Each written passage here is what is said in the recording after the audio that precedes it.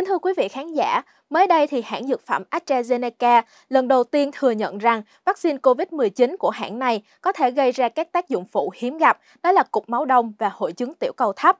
Thông tin này khiến cho nhiều người đã từng tiêm vaccine COVID-19 của hãng AstraZeneca cảm thấy hoang mang và lo lắng. Trong số phát sóng ngày hôm nay thì chúng tôi đã kết nối với thạc sĩ bác sĩ chuyên khoa 2 Trần Ngọc Lưu Phương là trưởng khoa nội soi tiêu hóa của bệnh viện Nguyễn Tri Phương để làm rõ thêm vấn đề này. Mời quý vị khán giả cùng theo dõi chương trình. Xin chào bác sĩ Lưu Phương ạ. À. mến chào à, MC và mến chào quý vị độc giả của cổng thông tin điện tử alo bác sĩ. Thì uh, hôm nay tôi sẵn sàng để giải đáp một số thắc mắc về liên quan vụ vaccine mà nhiều người đang là hot trend đây. Dạ, cảm ơn bác sĩ. Thì câu hỏi đầu tiên cho phép Phương Linh được hỏi đó là trong đại dịch thì bác sĩ Lưu Phương đã tiêm loại vaccine COVID-19 của hãng nào để phòng bệnh à?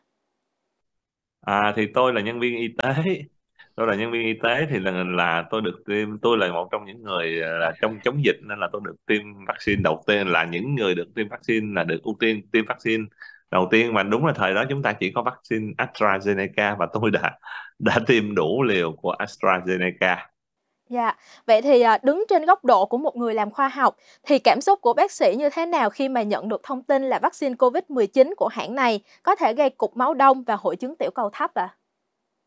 À? À, cái này thì thực sự ngày thời lúc tiêm là tôi đã là tôi đã biết có thể có những cái tác dụng phụ đó rồi chứ không phải tới bây giờ tôi mới biết tức là ngay lúc mà tại vì khi mà đại dịch mà nó dạ. xảy ra thì những cái quy trình mà là, là tìm vaccine để mà phát minh ra vaccine là người ta tất cả quy trình nó đều được rút ngắn nhưng vẫn đủ từng bước nhưng mà số lượng bệnh nhân không không thể mà nhiều mà giống như là những cái thuốc thông thường và thời gian theo dõi ngắn rút ngắn à, nên trong cái thời gian theo dõi ngắn mà cơ bản thì người ta thấy không có tác dụng phụ gì nghiêm trọng nhưng mà khi yeah. Dạ. đưa vào real world real world là thực tế cuộc sống giống như là à, lúc yêu nhau thì giống như là trong thí nghiệm thì còn về cưới ở chung nhau rồi là real world rồi à yeah. Dạ. thì à, thời đó là bắt đầu là đã đã đã, đã được WHO công nhận rồi và WHO đã công nhận là vaccine AstraZeneca là có thể dùng để tiêm ngừa đại dịch thì là ở châu Âu cũng approve rất là nhiều và bắt đầu được tiêm đại trà là lúc đó đại dịch bùng lên thì thỉnh thoảng có một số ca báo cáo là dễ bị à, là đông máu tức là tức là dễ bị đông hơn bình thường một số ca nhưng mà nó không yeah. Dạ. gây cái hậu quả gì nghiêm trọng và có thể nó giảm cái tiểu cầu là giảm thoáng qua thôi và chúng tôi đã đã tôi đã, đã đọc một số tài liệu lúc mà đưa ra real world là đã có rồi nhưng mà bản thân vaccine hay không vaccine gì thì vaccine hay là con virus thực thì người ta cũng chế biến từ thành phần giống con virus để cho để cho coi như là cơ thể mình tập trận giả trước. Để gặp con yeah. Dạ. virus thiệt cơ thể mình quen rồi. Đánh trận giống như là gọi là ờ, binh lính được huấn luyện quân trường đầy đủ giống trận đánh đá thiệt giống như đá tập huấn đó trong Việt Nam đá dạ. tập huấn với Hàn Quốc đá trận này trận kia. Rồi đến trận đá thiệt trong vòng chung kết cũng đụng Hàn Quốc nữa. Thì đâm ra là cái cái cái kiểu nó giống nhau. Thì bản thân con Covid thì nó cũng có thể làm tăng. Con Covid nếu mình nhiễm bình thường nó làm tăng đâu nó dạ. cũng làm ảnh hưởng đông máu. À, nhưng mà nó làm ảnh hưởng trầm trọng hơn. À, đâm ra nó có một số biến chứng do nhiễm covid thời đó. Covid bùng lên là chết rất là nhiều. À, do đó thì thực sự là có cái khi mà có những thông tin đó thì tôi cũng thấy nó rất là bình thường. Và đến bây giờ thì tôi cũng nghĩ là à, sau khi đã qua 3 năm đại dịch rồi và những cái báo cáo họ báo cáo về nhiều thì cái số liệu nó có. Nhưng mà tự nhiên là nó thì khoa học là khoa học sự thật là sự thật. À, lúc yeah. Dạ. đó là đã có những cái báo cáo nhưng mà chưa đủ bằng chứng để để quy kết. Còn bây giờ thì hãng AstraZeneca họ nói nhưng mà bản chân bản thân những biến chứng đó là rất là hiếm gặp. À, rất là hiếm gặp. À, à, thì là không có cái gì mà phải quá căng thẳng. À không có gì phải quá căng thẳng. À, tôi thấy tôi thấy tôi rất là bình thường. Ngay từ lúc mà tiêm AstraZeneca đã có một vài báo cáo nói à, có những cái mà tỷ lệ rất là hiếm gặp rất rất rất là hiếm gặp. Dạ. Vậy thì uh, cái tỷ lệ người sau tiêm uh, có hiện tượng xuất hiện huyết khối thì có phổ biến không thưa bác sĩ? Và cái tỷ lệ gặp tác dụng phụ này so với số lượng người được tiêm thì uh, gọi là nhiều hay ít à? Quá ít. tỷ lệ tác dụng phụ này là rất là thấp Dạ. phải gọi là rất rất là thấp à, rất là thấp tôi gọi là rất rất là thấp hàng chục triệu người đã đã đã, đã tiêm mà nó, nó đâu có số ca nó không có nhiều rất là ít. Đếm Dạ. theo số hàng chục hàng trăm thôi. Tuy nhiên so với những cái nhóm khác thì tôi thấy là có thực sự có. Nên người ta mới gọi là ghi nhận như thế. Và người ta thừa nhận như thế. Chứ không phải là bất cứ một cái gì cũng có thuốc. Nội chúng cũng có tác dụng phụ. Nội đơn Dạ. giản chúng ta ăn một cái bánh hay một cái món ăn bình thường chúng ta đang ăn lâu lâu nhiều khi cũng là cái món đó cũng là bà vợ nấu đấy. À, cũng là món tôi nói ví dụ bánh chưng đi cũng bà vợ gói hay là món thịt kho hột vịt đi cũng bà vợ mình nấu đấy. À, nấu mà cả 10 năm với mình không sao. Nhưng mà cũng cái ngày đó cũng bà nấu mà cũng mua về bà nấu. Mà nhiều khi mình ăn vô mình cũng có tác dụng phụ mình đầy bụng không tiêu chuyện bình thường. À, đâm ra đối với tôi cái nhìn khoa học là có tác dụng phụ. Tất cả những thuốc là đều có tác dụng phụ. Vấn đề là ít hay nhiều và ở mức độ nào và đối với cái tác dụng phụ này là ít và hiếm Dạ. nữa chứ không phải là ít nữa hiếm nữa Dạ vâng. Vậy thì à, trước thông tin vaccine COVID-19 của AstraZeneca có thể gây ra tác dụng phụ hiếm gặp là cục máu đông, thì những người có mắc bệnh nền vốn dĩ là có cái nguy cơ hình thành cục máu đông cao hơn so với người bình thường thì lại càng cảm thấy lo lắng hơn. Thì theo bác sĩ thì liệu nỗi lo này của họ là có cơ sở không ạ? À, tôi nghĩ là không có chuyện gì phải căng thẳng. Thứ nhất là đặc điểm của cái cái cái cái, cái COVID, Đ- đặc điểm của bệnh COVID. Tôi nói bệnh COVID á, cho dù Dạ. có hay không có tiêm vaccine không bệnh COVID thì trong cái cơ chế bệnh bệnh lý của nó là nó có cơ chế bệnh lý của nó nó có làm thay đổi cái cái cái hoạt động của hệ đông máu mình nó cũng có thể làm cái cái cái cái hệ số đông máu mình nó hơi cao hơn bình thường thì cơ thể mình Dạ. sẽ thích ứng chuyện đó thôi không có vấn đề gì hết á. Chúng ta đừng làm mà mà mà căng thẳng quá tới cái mức gọi là là là là là, là nghĩ là nó sẽ nghẹt mạch máu không không không đến nỗi gì căng thẳng cả. À, bởi vì cơ thể mình có cơ chế là nó điều hòa rất là tốt. Và bản thân cái mà chích vaccine uh, AstraZeneca nếu mà có gây những cái biến chứng mà tăng đông thì, tăng đông là cục máu đông gì đó thì thường nó sẽ ra nhất thời nhiều hơn là Dạ. chuyện hai ba năm sau đâm ra chuyện về chúng ta đã sống sót qua đại dịch cái chuyện đó là quan trọng nhất. À Dạ. và mà chúng ta chẳng có gặp biến chứng đó thì không có chuyện gì phải căng thẳng tại vì cái biến chứng mà mà dẫn tới hình thành cục máu đông và giảm tiểu cầu đó là một biến chứng về miễn dịch cái phản ứng của cơ thể mình. Với cái virus covid hoặc phản ứng cơ thể mình với cái loại vaccine đó.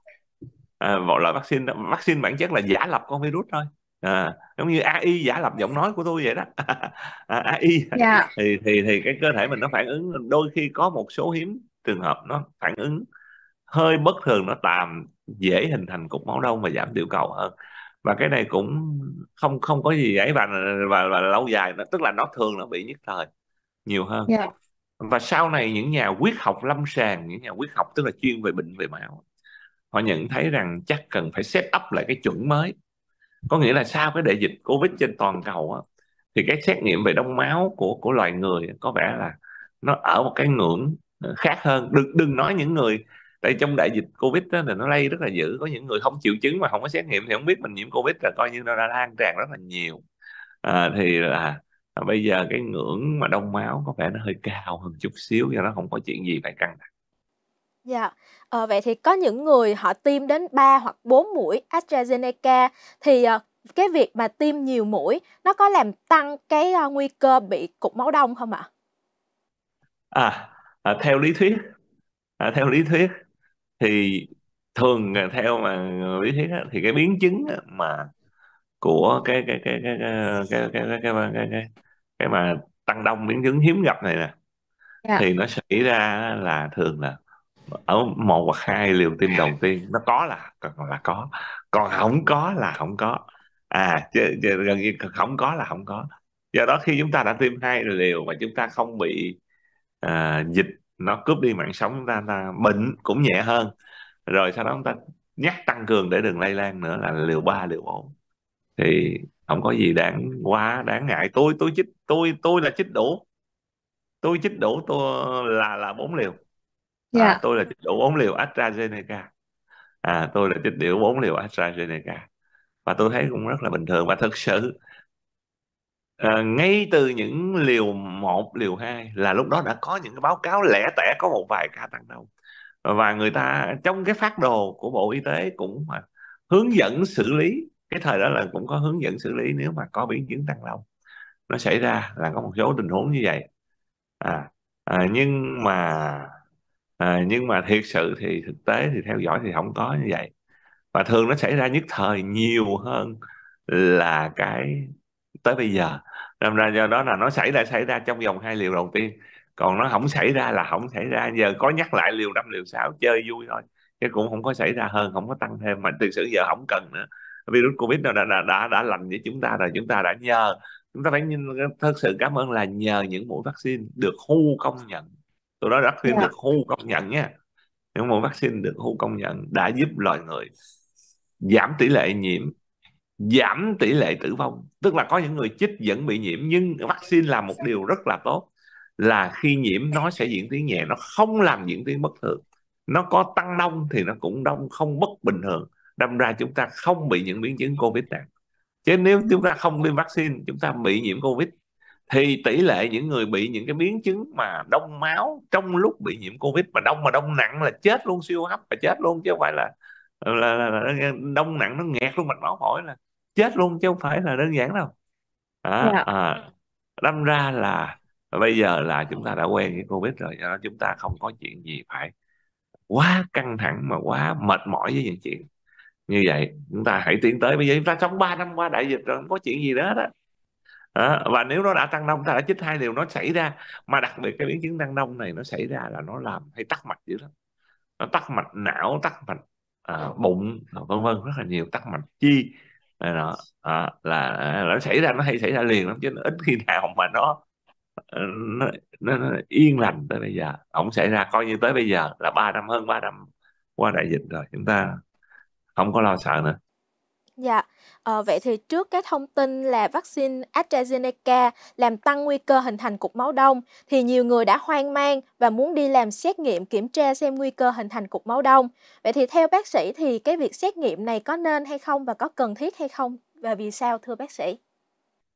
Đứng về mặt chuyên môn tôi thấy không có cần thiết bởi vì dạ. tất nhiên các bạn không hiểu chuyên môn các bạn nghe cái xét nghiệm nguy cơ hình thành cục máu đông bản thân cái xét nghiệm mà đang hot trend trên mạng là DDME gì đó nguy cơ hình thành cục máu đông cái xét nghiệm này nó có từ mấy chục năm nay rồi và mục đích nó không có phải coi để tăng nguy cơ hình thành cục máu đông khi nó tăng cao yeah. Dạ. có nghĩa là trong cơ thể chúng ta đã có từng là có những cái đợt mà máu nó đông mà cơ thể chúng ta máu không đông là rối à chảy yeah. Dạ. máu không cần nữa à, và thứ nhất cái xét nghiệm này tăng là phải phối, hợp với lại khám bệnh lâm sàng và nhiều xét nghiệm chẩn đoán hình ảnh khác chứ không phải chỉ dựa vào một cái cục xét nghiệm này tăng cái là bệnh rồi phải uống thuốc loãng máu là chết nữa. Bởi vì thuốc loãng máu nó có tác dụng phụ xuất huyết não xuất huyết tiêu hóa xuất huyết nội tạng là phiền phức nữa. Đúng chỉ định mới xài và thậm chí đúng chỉ định người ta cân bằng giữa lợi ích và nguy cơ. Tức là nguy cơ à, nguy cơ xuất huyết nhiều nhưng mà lợi ích có thể đạt được trong nghẹt mạch vành tim. Hay gì cần người ta mới cân bằng lợi ích nguy cơ mới uống chứ phải tự uống theo chỉ định bác sĩ và cái hai cái xét nghiệm này nó tăng nó gặp trong rất nhiều bệnh lý. Đàn bà đang mới cấn thai cũng tăng à, đàn bà bầu phá thai xong cũng tăng mới đẻ xong đàn bà ở cũng tăng. Rồi chúng ta nhiễm sốt xuất huyết nhiều khi cũng tăng nhiễm siêu vi nó cũng tăng. Thậm chí gan yếu cũng tăng thận yếu cũng tăng đang nhiễm trùng huyết cũng tăng. Sâu răng nó cũng tăng nữa. Nó làm chúng ta rất là rối. À, đâm ra người bình thường không có nên Đấy, người cái xét nghiệm này nó chỉ có ý nghĩa là khi nào người ta sợ những cái tắc mạch ở ngoài chi những bệnh gọi là viêm tắc tĩnh mạch hoặc là tắc mạch ở phổi thì nó có những triệu chứng lâm sàng. Mà nhưng mà cái này chỉ là một cái xét nghiệm cộng thêm với những xét nghiệm chẩn đoán hình ảnh để chẩn đoán xác định cái tắc đó. À cái này chỉ là tầm soát vậy thôi chứ không phải dùng xét nghiệm này nó chết rồi tôi bị đông không có. Và thường thường là sau cái đại dịch covid đó, thì một số nhà chuyên chuyên chuyên gia về huyết học tức là về bệnh lý về máu à, yeah. Dạ. máu huyết của chúng ta thì ta thấy rằng cái cái cái, cái con số này chắc con số tham khảo ở người bình thường ở loài người có vẻ hơi tăng lên hơn chút so với trước đây bởi vì cả loài người phải thích ứng với vaccine covid và với nhiễm covid thì cái ngưỡng đó sẽ hơi cao hơn bình thường một chút à, như vậy tóm lại là à, tùy cái bệnh cảnh lâm sàng à, thường nhất có hai bệnh cảnh thường là người ta sợ thuyên tắc phổi với lại sợ cái viêm tắc cái tĩnh mạch chân phải bác sĩ chỉ định thì ta mới làm cái này để tầm soát và kết hợp những xét nghiệm khác.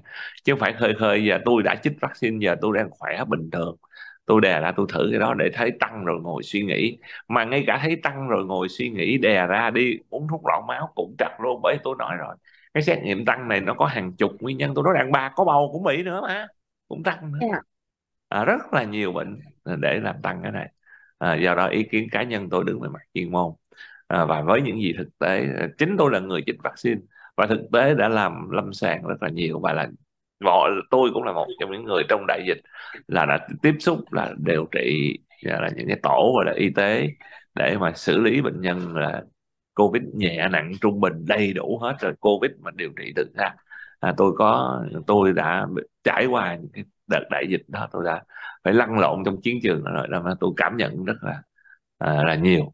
À, và từ, từ thực tế lâm sàng tôi thấy vaccine làm được điều là nó làm cho những người có vaccine ít nhất một mũi thôi là cái diễn tiến covid nó cũng nếu nhiễm nó nhẹ đi tỷ lệ nhẹ đi rất nhiều. Mọi người không có vaccine là tỷ lệ nặng là cao hơn hẳn à, là nó làm được chuyện đó và loài người đã vượt qua rồi. À, và bây giờ qua ba năm rồi chúng ta chích biến cái vụ tăng đông mà xảy ra là xảy ra lúc chích thôi một hai mũi đầu thôi nó xảy xảy ra liền đặc điểm cái này có à, tất, có là có liền chứ không có để gọi là giống như mà tình gọi là đơn phương yêu em mà ngại ngùng không nói ra 10 năm sau mới nói không có chuyện đó. Cái này nó được nó tăng đúng nó tỷ lệ nó có tỷ lệ ăn nhưng mà thường nó bị từ một hai mũi chích đầu tiên là nó có. Thì bây giờ người ta báo cáo lại người ta thấy như vậy thì người ta thừa nhận cái đó là có liên quan nhưng mà tỷ lệ hiếm và chuyện đó tôi nghĩ là cũng rất là bình thường. Chúng ta nhìn cái gì cũng có hai chiều. Xin lỗi. À, bạn uống bạn bị tiểu đường. Bạn phải dùng thuốc trị tiểu đường. Đồng ý không? Thì thuốc trị dạ. tiểu đường có nguy cơ làm tuột được. Nhưng mà nói ôi giờ tôi tiểu đường giờ tôi sợ uống riết tuột đường tôi không uống sao được? À, hay là thuốc trị cao huyết áp là có nguy cơ tụt huyết áp. Mà giờ mình bị bệnh cao huyết áp một cái lợi ích mình phải uống thuốc cao huyết áp để huyết áp bình thường. Nhưng mà đôi khi là uống nó có tác dụng phụ là huyết áp nó tụt à hay là nó hơi chóng mặt nhưng mà nó không tôi không uống thì cũng không không được đó là cái nhìn à, à, đa chiều đó đó yeah. Dạ. là ý tôi nói là như vậy à đó. Dạ, ờ, vậy thì như lúc nãy bác sĩ có nhắc đến là xét nghiệm DDM là xét nghiệm được nhắc đến rất nhiều trong thời gian vừa qua. Vậy thì nhờ bác sĩ giải thích kỹ hơn cho quý khán giả được hiểu là xét nghiệm DDM là xét nghiệm gì, có tác dụng như thế nào và xét nghiệm này sẽ được chỉ định trong tình huống nào ạ? À? cái này thì đừng ngồi mà giải thích với những người không chuyên môn thì tôi giải thích mà một ngày cũng rất là khó hiểu. Dạ. Tại vì cái này phải giải thích bằng sinh lý và sinh lý bệnh đâm ra nói nhiều nó rắc rối nhưng mà nói đơn giản đây là một cái chất mà khi cơ, cơ thể bình thường cơ thể cơ thể chúng ta cơ thể chúng ta là bình thường là trong cơ thể chúng ta hàng ngày luôn có những cục máu đông và có những tan đi cục máu đông. Đó là giống như là sự đóng nhất và đấu tranh giữa hai mặt đối lập của triết học Mác Lênin bởi vì mỗi ngày trong cơ thể mình luôn có những cái chảy máu nhỏ ở trong nội tạng cơ thể mà mình không có thấy nhờ dạ, cục vâng. máu đông nó cầm lại nhưng mà sau đó thì cơ thể mình sẽ có cơ chế để dọn sạch cục máu đông đi. À, à lúc nào cũng có luôn luôn hai quá trình nó xảy ra. Giống như bình thường ở ngoài da của mình. Luôn luôn bây giờ tôi nói tôi ở sạch tuyệt đối luôn luôn mình chà cái da mình vẫn phải có một ít giống như mình nói là ghét hay là dơ vậy không phải dạ. ở dơ mà đó là quá trình đào thải da tự nhiên. Luôn luôn quá trình đào thải và quá trình tạo ra à giống như quá trình xài tiền và tiêu tiền. Đó, cơ thể mình luôn luôn có hai quá trình song song. Chúng ta không muốn cũng xảy ra như vậy trong cơ thể chúng ta. Luôn luôn trong cơ thể trong cơ quan nội tạng chúng ta. Chúng ta đi chúng ta cũng rung lắc. Chúng ta ăn uống tất cả đâm ra trong nội tạng sâu thẳm từ mạch máu nhỏ. Mỗi ngày có những chỗ nó chảy máu li ti nhưng mà nhờ cái máu đông của cơ thể chúng ta tự tạo ra nó đông lại. Nhưng sau đó nó dọn dẹp. Thì khi nó dọn dẹp xong á, thì người ta thử cái chất đó người ta biết à là cơ thể mình đã dọn dẹp thì khi mà thấy có vẻ rác nhiều, dọn dẹp ra rất là nhiều rác, thì nghĩ ra, nghĩ là chắc là nó bị đông ở đâu, tắc ở đâu đó rất là nhiều. Tuy nhiên cái chất này nó rất là giống những chất sinh ra trong quá trình mang thai, trong quá trình mang bầu rồi đó là sảy thai, hay là trong quá trình nhiễm trùng những bệnh gì khác, hay quá trình uống nước ít bị đặc nào, hay trong quá trình mà gan suy hỏng thải được độc tố. Hay thận suy này, nó cũng làm cho những chất giống rác mà giống như là cái rác của cái cục máu đông bình thường nó tăng lên. À, do đó là nói cái này tôi giảng cho sinh viên y khoa phải giảng rất là lâu mới hiểu được. Như vậy Dạ. thì chúng ta đừng dựa là nghe hot trend ở đây tôi vô đòi thử cái đó. Không có một ý nghĩa gì hết. Và thứ hai con số bình thường con số bình thường cũng chỉ là bình thường con số tăng chỉ là tăng tăng tăng so với một ngàn người bình thường. À, nhưng mà không chắc cái tăng đó là bệnh đối với người đó. À, chúng ta trong y học nó phải như toán học số âm là có nghĩa là loại nghiệm nhưng mà trong y học để biết con số bình thường người ta không thể đấy lấy 7 tỷ người trên hành tinh này ra để người ta đo. Người ta chỉ lấy một số ngàn người ta đo thấy trung bình ngàn người đó số bình thường nó dao động từ như đây đến như đây đó. Rồi như vậy thì nếu mình vượt qua hai người đó cái mình nói mình bất thường không phải. Tùy theo cái bệnh cảnh lâm sàng nữa để quyết định à, à, do đó nếu mà cứ ngồi mà y học mà cứ ngồi xét nghiệm giờ thấy hơi vượt mức bình thường ngồi sợ là nó không vượt mức bình thường là vượt mức của ngàn người mẫu.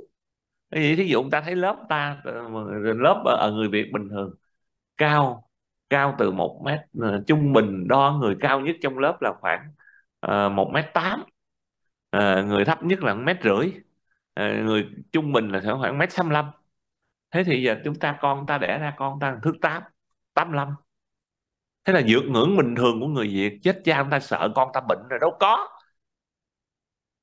À, à, y học nó không phải là toán học nó chỉ là cách tính cách tương đối. Như vậy rút lại ta đừng thấy những cái gì hot trend quá ta sợ. Và cục máu đông không phải là cái hại. À, cục máu đông không phải là cái hại. Nếu không có cái đông là mỗi ngày mỗi ngày cơ thể chúng ta có hai quá trình song song đông và dọn đông và thông. À tức là phạt cơ thể chúng ta lúc nào cũng có hiện tượng bị rỉ ở đâu đó nhờ cái máu đông nó xong. Nhưng mà sau đó nó sẽ có quá trình để thông lại cho chạy lại.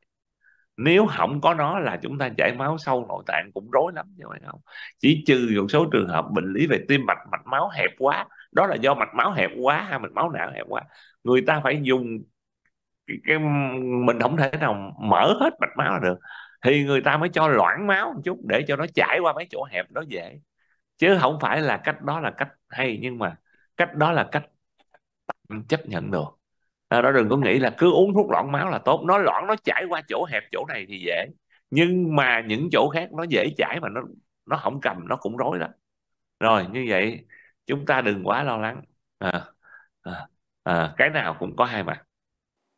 Dạ, ờ, vậy thì chúng ta có nên thực hiện xét nghiệm DDM đại trà trong cộng đồng không thưa bác sĩ? Không có, tôi đã nói vậy rồi là không có làm cái gì đại trà hết. À, à, để đó là không có cần mà xét nghiệm đại trà gì cả.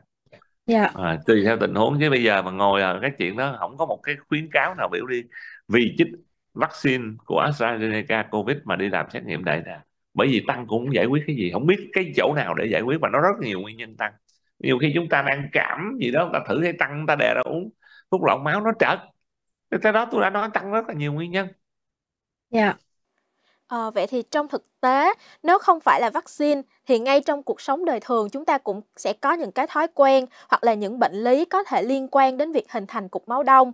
Vậy thì uh, chúng ta có thể làm gì để hạn chế nguy cơ hình thành cục máu đông gây hại cho sức khỏe à? Chuyện đơn giản nhất là chúng ta tập thể dục chúng ta uống dạ. nhiều nước ăn nhiều rau xanh. Chỉ cái cái chuyện mà vận động hàng ngày của chúng ta à, tập thể dục hàng ngày của chúng ta làm cho mạch máu chúng ta nó lâu lão hóa mỡ máu chúng ta nó không có đóng thành mạch là nó đã thông những mạch máu và nó nguy cơ để nó hẹp để hình thành những cục máu đông nó khó hơn bình thường rồi. Đấy, một lối sống đừng hút thuốc lá nhiều. Hút thuốc lá là một yếu tố nguy cơ hình thành cục máu đông bởi vì hút thuốc lá nó làm cho những cái mạch máu chúng ta nó sần sùi sần sùi sần sùi. Nó đóng ờ, nó, bợn rất là nhiều. À, nếu chúng ta có bệnh tiểu đường thì trị tiểu đường cho tốt thì cũng bớt nguy cơ hình thành máu đông bởi tiểu đường trị trị không tốt làm mạch máu chúng ta mau hư nó cũng sần sùi sần sùi chỗ hẹp chỗ thông không có đẹp gì hết. Giống như da mặt mà bị mụn vậy đó. À, đó. Đó là những cái thói quen tốt. Rồi những thức uống có lợi cho sức khỏe. Ví dụ như là ví dụ như là cam chanh à nhưng mà đừng uống nhiều quá. Rồi rau xanh. À đấy trà xanh. Ha hay là cà phê. Cà phê nguyên chất là cà phê phin đấy cà phê cà phê phin. Mà, mà đương nhiên uống nguyên chất không có đường đừng có pha đồ lung tung. À, chứ cà phê hòa tan thì thấy không có cái tác dụng lợi đó à, đó là những Dạ. cái để như vậy. Lẽ đương nhiên có những bệnh đặc biệt là bệnh tim mạch và bệnh lý đã nhồi máu não rồi tại vì mạch máu não rồi thì những bệnh lý đó là do bản thân cái bệnh lý của mạch máu não bệnh lý của mạch máu tim chứ không phải do hiện tượng tăng đông gì đâu. À, thì người ta dùng thuốc loãng máu là bởi vì người ta những cái hẹp nhẹ người ta không cần đặt ống gì vô cả ngàn mạch máu sao đặt nổi. Thì người ta dùng cái thuốc loãng máu để đi qua những mạch máu hẹp mà quan trọng đó nó dễ dàng hơn. À, Dạ. à, nhớ uống đủ nước uống đủ nước à, tập thể dục bỏ thuốc lá rượu bia ăn nhiều rau xanh trái cây đặc biệt những trái mà quả mọng chín nhiều nước là Dạ. rồi cà phê trà xanh nguyên chất không pha đường hết là những cái thực phẩm chống oxy hóa giúp mạch máu chúng ta thông và không có bị à, à, một cái cục máu đông nhiều Vậy thì nhân câu chuyện mà AstraZeneca thừa nhận là vaccine COVID-19 gây tác dụng phụ là cục máu đông và giảm tiểu cầu, thì nhiều người đã nhắc lại những cái tác dụng phụ khi mà tiêm vaccine COVID-19 mà nó vẫn kéo dài đến hiện nay, đó là mất trí nhớ và rụng tóc. Thì uh, theo quan điểm của bác sĩ là vấn đề này có hay không ạ? À? thì, uh, thì thì mất trí nhớ hay không thì hiện tại là chưa có báo cáo là tại chích vaccine là mất trí nhớ cái đó là không có à, Dạ. cái mau quên nó kia có nhiều vấn đề lắm nội sau cái đại dịch covid mà cái căng thẳng giữa là không có vaccine để tiêm rồi tiêm vaccine xong rồi bệnh rồi người chết nhiều quá nhiêu đó cũng làm stress là sau cái stress đó là chúng ta đã giảm trí nhớ rồi à, chứ không phải Dạ. là tại cái cái cái tiêm vaccine uh, vaccine xịn gì đó hay là dởm gì đó là mất trí nhớ thì cái đó là không có đó là, là chưa có rõ à, ờ, còn rụng tóc thì nó cũng xảy ra liền à nó trong vòng 6 tháng đầu thôi chứ còn tới mãi về sau để rụng tóc thì ờ, không không à, có liên quan gì tới nhiều tới vaccine Dạ. à, vậy thì rõ ràng là chúng ta không thể nào phủ nhận được tác dụng của vaccine mang lại trong cuộc chiến chống đại dịch à, cũng như là các tác dụng phụ của nó. Thì xin hỏi bác sĩ là mức độ ảnh hưởng của tác dụng phụ do vaccine COVID-19 gây ra cho đến hiện nay là đã 2 đến 3 năm sau khi tiêm ngừa thì ảnh hưởng của tác dụng phụ này như thế nào ạ? Thực sự thì thì thì ảnh hưởng thì cũng chưa nghe báo cáo gì hết. À, tại cái Dạ. vaccine cái sợ nhất của người ta à, cái sợ nhất của người ta là lúc ngay lúc tiêm sợ nhất là sốc với dị ứng và những cái tác dụng phụ nhất thời nhưng mà chúng ta thấy rõ ràng là thực sự là tỷ lệ nó rất là thấp. Bởi vì thiệt sự là cái vaccine tỷ lệ xài như vậy là rất là nhiều. Dạ. rất là nhiều trên reward rất là nhiều gần như cả thế giới đều xài. À, xài rất rất rất rất rất là nhiều. À, đâm ra bởi vì nhiều quá thì chúng ta sẽ thấy có người báo cáo tác dụng phụ. Thì đâm ra chúng ta sợ. Cái thiệt sự nếu xài ít ví dụ một số loại kháng vaccine người ta không có xài nhiều tới như vậy. Tại vì để nó cả covid xài cả hàng tỷ người. Đâm ra chúng ta mới thấy là có tỷ lệ tác dụng phụ như thế đâm ra chúng ta lo sợ. Chứ theo tôi thấy là cái tỷ lệ tác dụng phụ là như vậy là khá thấp. À, nhưng mà trong cuộc sống luôn luôn phải chọn lựa. Có cái này thì không có cái kia. Ngày đó không có vaccine dành nhau để tự vaccine bởi vì lúc đó lo mạng sống và cái chết sợ quá. À và vaccine đã làm được một điều là giảm tỷ lệ bệnh nặng giảm tỷ lệ tử vong. À, chúng ta đã sống sót qua như vậy rồi quá tốt rồi. À, đừng suy nghĩ về cái gì những cái tác dụng phụ. Ngày đó nếu không có vaccine thì thì thì chúng ta nghĩ sao? Ngày đó những người nào không đương nhiên tôi biết có những người anti vaccine nhưng mà ngày đó mình nhìn trên số đông ai cũng muốn tiêm vaccine. Lúc đó lúc mà bùng lên bệnh nặng nhiều quá chết rất là nhiều. Ai cũng hoảng sợ có được vaccine là thấy mừng. Mà thực sự tụi tôi ở trong tâm dịch tụi tôi đối diện với bệnh nhân covid. À, bệnh nhân covid nằm viện tụi tôi thấy rõ ràng là thực tế. Người nào mà có được lúc đó có những người chỉ có một mũi thôi tại lúc đó người ta thiếu vaccine ta chưa được chích thì chúng tôi thấy rõ ràng đó, những người không có mũi nào là thường rất nặng đó là tôi không có làm để nghiên cứu báo cáo nhưng mà trong thực tế người nào có một mũi tôi thấy là rất là đỡ khả năng cứu chúng tôi kéo ra bệnh nhân sống được rất là nhiều còn những người gần như không có là tôi kéo để ra khỏi bệnh nặng rất là khó khăn và gian nan cái đó là thực tế yeah. Dạ. từ mình giống như giống như ờ, bác hồ nói uh, như bác hồ nói đó là những đó là không có trong thống kê trong sách vở à, giống như bác hồ nói trong thực địa chiến tranh chiến dịch điện biên phủ chưa chúng ta chưa không phải là trường lớp võ bị của phương tây nhưng mà qua thực chiến chúng ta đưa ra những cái chúng ta thấy kinh nghiệm vậy mà không có sách vở quân sự nào vậy thì thực sự là chúng tôi thấy thực sự là như vậy. À, đó, thì là những người mà họ lúc đó vô được một mũi vaccine rồi đã từng có. Làm tôi thấy rõ ràng là tôi tức là thực tế tôi kéo họ ra khỏi cái bệnh nặng để có thể cứu sống. Tỷ lệ cao hơn hẳn những người không có mũi nào. Chuyện đó rất là rõ ràng. Mà có hai mũi là càng đỡ dữ nữa. À rồi mình thấy rất là rõ ràng. Mình trong là cuộc chiến đó mình thấy rất là rõ như vậy. Đâm ra tôi vẫn thấy là cái mà yếu kém của nó cái tức là cái tác dụng phụ của nó thì rất là ít so với cái mà hiệu quả nó đạt được. À, điều đó là phải thừa nhận. Đó. Âm ra cái gì cũng có hai mặt. Chúng ta đừng nghĩ rằng là một mặt. À cái gì cũng có hai mặt. Chúng ta nghĩ là đi ngày đó ta chen chúc nhau để được chích. Bởi vì thấy bệnh nặng quá, chúng ta sợ. Thì bây giờ ngồi nghĩ ngược lại thì không nên. Mà tỷ lệ người ta thừa nhận là tỷ lệ tăng. Ngày đó tại không phải không phải là ngày đó. Astra không thừa nhận. Bởi vì trong khoa học là khi mình quy kết một cái gì đó cho cái chuyện đó là người ta phải qua quá trình nghiên cứu kỹ. À, bởi vì có thể nó xảy ra ngẫu nhiên đồng thời. Ngẫu nhiên đồng thời. Đó sau khi đại dịch đã qua lâu và tổng kết những báo cáo và biết rằng chắc chắn những trường hợp này là không phải ngẫu nhiên đồng thời thì người ta mới kết luận là ờ à, có những tác dụng phụ đó với tỷ lệ hiếm.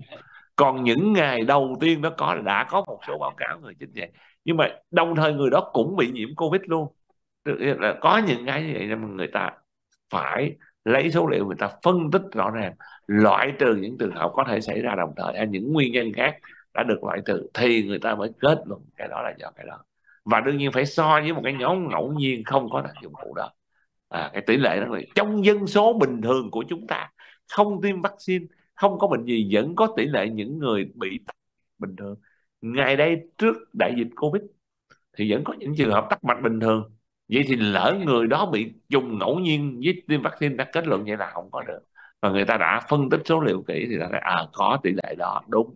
Nó có tăng lên nhưng mà tăng rất là, tỷ lệ tác dụng phụ đó là hiếm.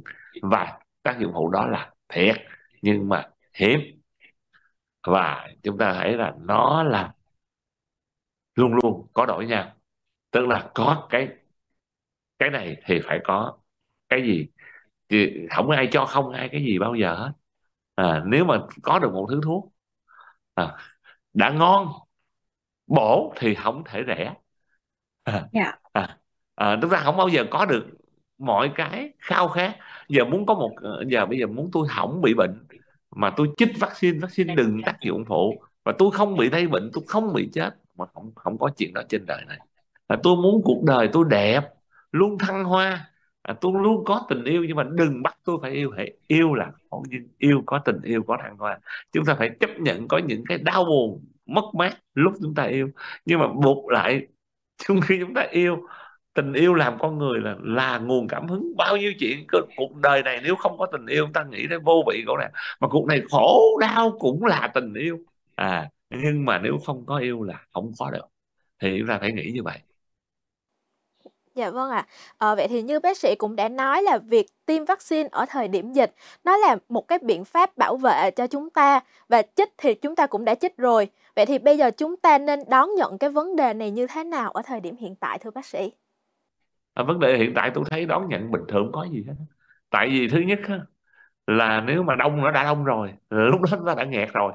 Còn bây giờ là chúng ta sống bình thường tới giờ nếu giả sử không có cái tin đó lên báo thì chúng ta cũng thấy nó rất là bình thường À, Dạ. còn vấn đề giờ chúng ta cứ trị những bệnh bình thường như những gì chúng ta có chúng ta cứ sống lành mạnh chúng ta tầm kiểm tra sức khỏe định kỳ là được rồi không có Dạ. vấn đề hết đấy và cũng nhân cái này tôi cũng nhắc là Dạ. tôi tôi tôi tôi tôi không phải thầy bói nhưng mà tôi dự đoán tôi dự đoán sau cái vụ mà AstraZeneca nói là có tác dụng phụ đó Dạ. ở các nước thì tôi không biết nhưng ở Việt Nam có thể sẽ có một hot trend lên ngôi trên mạng xã hội và sẽ nhiều người rất là lo lắng và à, dạ, à, à, có những phương pháp thải độc có những phương pháp để làm sạch cái à, tác dụng phụ của vaccine à, dùng thuốc để mà ngăn ngừa những tác dụng đã lỡ chích rồi thì nên tránh xa những cái đó. Tôi nghĩ cái đó là sẽ tôi dự báo và tôi nghĩ là có thể sẽ đúng đối với